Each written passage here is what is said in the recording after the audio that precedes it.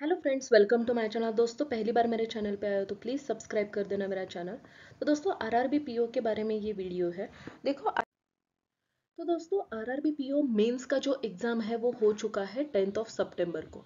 Tenth of सितंबर को आपका exam जो है वो हो चुका है। ओके तो हम लोग इस वीडियो में बात करेंगे कि मेन्स का रिज़ल्ट कब आ सकता है और इंटरव्यू डेट्स जो है वो कब से शुरू हो सकता हैं।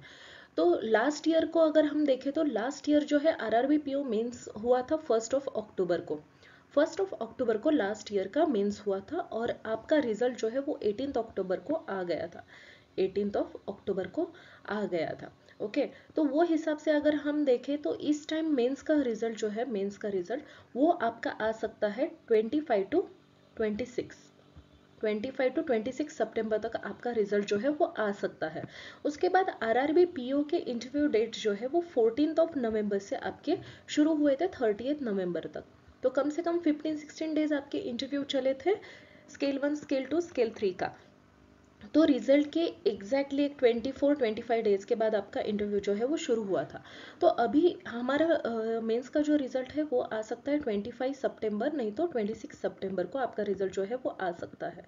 ओके? okay. उसके बाद आपके इंटरव्यूज़ जो है इंटरव्यूज़ जो है वो शुरू होंगे आपके 20 अक्टूबर से। 20 अक्टूबर से शुरू हो सकता है थर्ड वीक ऑफ़ अक्टूबर से, और नवंबर फ़र्स्ट वीक तक आपके एग्ज़ाम्स हो सकते हैं इंटरव्यू एग्ज़ाम्स तो thank you so much for watching my video please subscribe कर देना मेरा channel thank you so much